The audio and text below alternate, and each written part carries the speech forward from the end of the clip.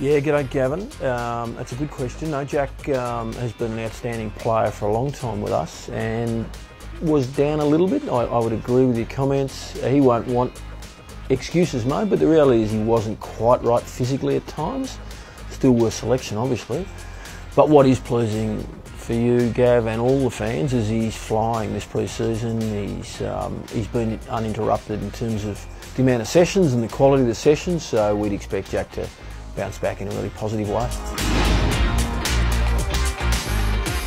Yeah, g'day Jack. Uh, so first of all, Freezer, as you can imagine, we're, we're relatively conservative with Freezer. He, he needs some continuity and he's been getting that, not with the group, he's been training away from the group. He's just joined back in now. So uh, fingers crossed to some extent that he now gets some real continuity with the group and will be really close with respect to round one. Now he's, you know, he's obviously competing with everyone else for a position, but it's pleasing that he's been able to stay healthy up until now, and uh, and we're really optimistic there. Huey's had a really positive pre-season, as you know. That hasn't been the case for the last two, so. Um, yeah, he's been able to do all the work. Um, he's, you know, he's working really hard on, on his game. Henry Playfair, a new backline coach, he's working with Henry and Danny Frawley, and, and we really like the way Huey's going. G'day, Alex. Um, I um, I've learnt that at times I can get in the way a little bit too much, so um, I need to let the players, in particular the leaders, lead. Um, last training session is a good example of that, where we call it the captain's run, but I still find myself getting a little bit too involved. So that's that's a real focus of mine this year to make sure that I give the leaders the space to be exactly that, to lead the team. I'm not out there game day. So I need to get out the way at times of training, and that's a, that's a, a focus of mine. G'day Nathan, and uh, it's almost flipped this year in pre-season. Last year Hickey wasn't able to get out there and, uh, and Billy was in pretty good shape.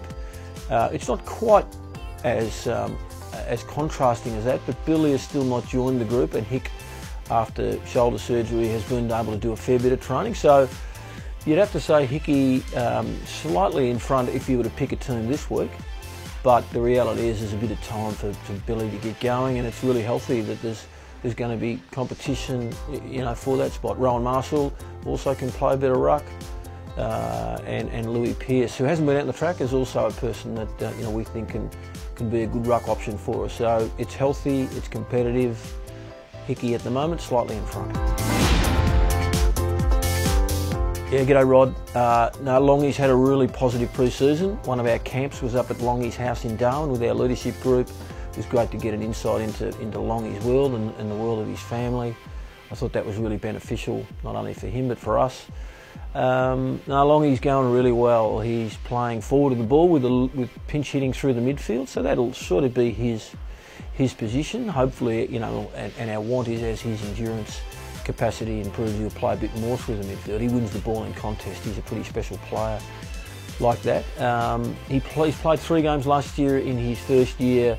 We'd expect him to play a bit more footy. There's real competition in that position for us, which, which is healthy. But um, no, I like the way Long he's going. I expect him to play a bit more footy this year.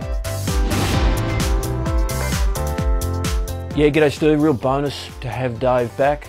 Um, you know, when Dave's at his best, we're a better team. He's aggressive, he's physical. I'm probably telling you things you already know.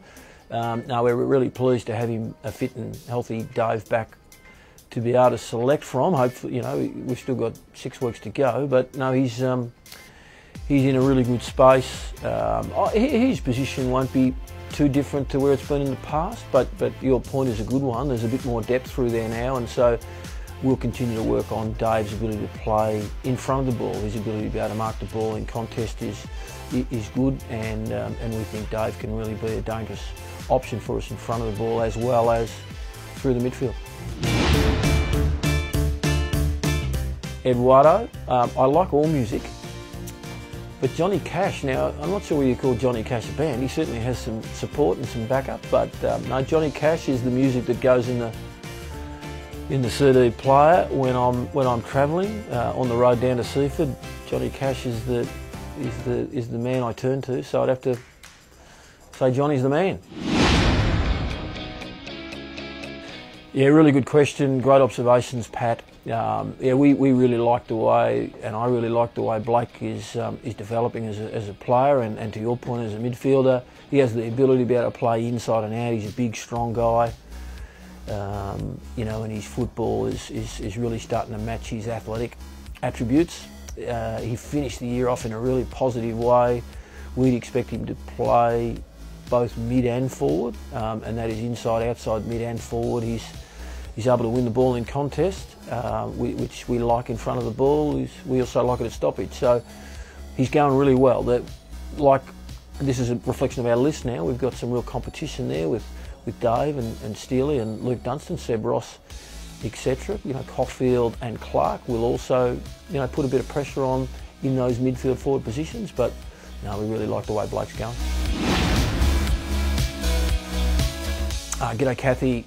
Um, yeah, there's been a lot of players that have been impressive. Uh, we haven't played opposition yet, so you know time will tell. But uh, the way the group has embraced the work you know, to a man really has um, has been a bit of a standout this pre-season. Given there's been a shift in, in, in leadership with Rui and Joey and Shinner moving on, um, they're really owning the team, and there's been a lot of improvement by many. With respect to Coffield and Clark, and I'd nearly, I'd just about throw Paton in there as well.